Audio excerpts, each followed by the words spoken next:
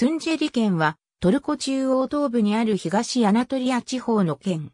この地方はかつてザザキ語やクルド語で銀の門を意味するデルスイムと呼ばれていたが、1936年にトゥンジェリ県に改められた。ただし、今でもデルスイムの名を使う人もいる。北にエルズインジャン、東にビンギョル、南にエラズー、西にマラティア。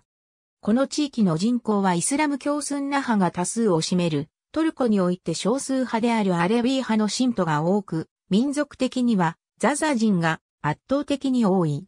人口密度がトルコ一小さく9.8人平方キロメートルほどしかない。県都は県名と同じくトゥンジェリである。もともとはカランという名前の町だったが、県名に合わせて改名されている。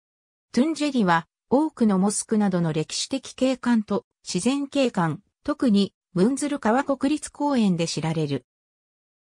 しかし、19世紀末にアルメニア人を鎮圧していたオスマン帝国の不正規軍、ハミディエと1936年から1937年にかけてのトルコ共和国正規軍によるアレビーパ自治、政権指導者の鎮圧による破壊も受けている。トゥンジェリには8つの自治体がある。この地域の歴史は古代に遡る。プトレマイオスはダーナリスという地名でこの地に言及しており、これ以前からこの地名で知られていたものとみられる。ある説では、ダレーオス一世の名はこの地名から来ていると考えている。19世紀末には当時、デルスイムと呼ばれていた、ドゥンジェリ県の県域は、エルズインジャン州のエルズインジャン県に含まれていた、ピュリュミュル郡を除き、マムレッテュアズイズ州のホザット県に含まれていた。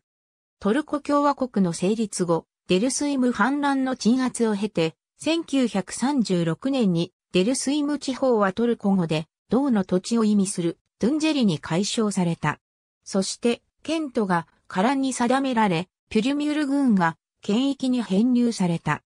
2019年のトルコ統一地方選挙では、オアジュク出身のザザ人で、トルコ共産党のファーティ、メフメト・マチョーリュが市長に当選した。また当地は、蜂蜜の名産地としても知られる。98%の人口が初等教育を受けており、トルコの県の中でも識字率が非常に高い。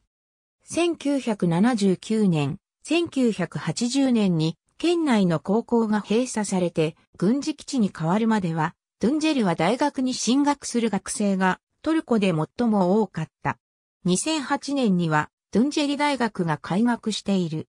なぜかトルコに共産主張を訪ねて分かったユートピア https www 朝日 .com アーティクルズ ASM427V5RM42B02 MHTML 朝日新聞デジタル2019年4月9日。ありがとうございます。